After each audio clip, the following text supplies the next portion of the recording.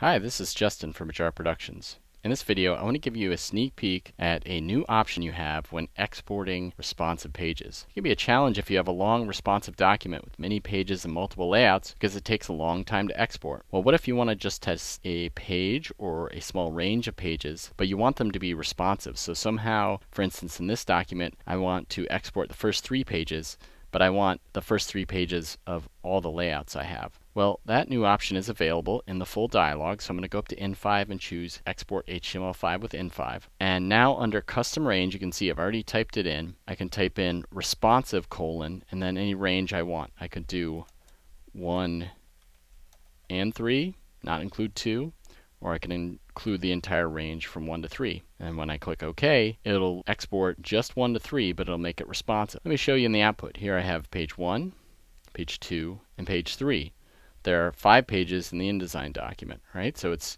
exported those three pages, and now when I go responsive, there's the other layout with three pages again. So that should be a helpful new option when you are testing your responsive layouts as you're building them. Should save you a lot of time.